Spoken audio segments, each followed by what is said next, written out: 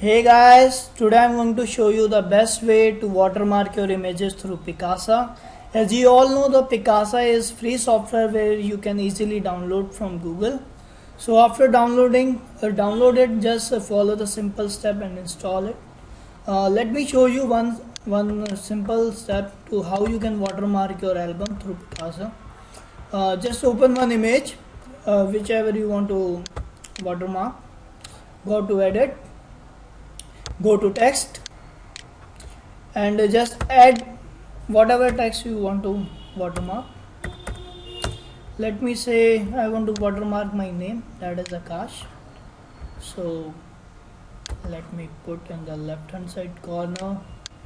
After you you think you have completed just click on apply. After applying it just go back to the library after you go back to the library there is an important step just go to edit copy the text. Very simple. And what you have to do just select all your album whichever you want to watermark. Again go to edit and just paste the text in it. After pasting it just save the gallery by pressing ctrl plus s. It show a pop-up window which say which uh, which uh, say you you want to save this. Just click on save when you save it? As you can see the processing is going on.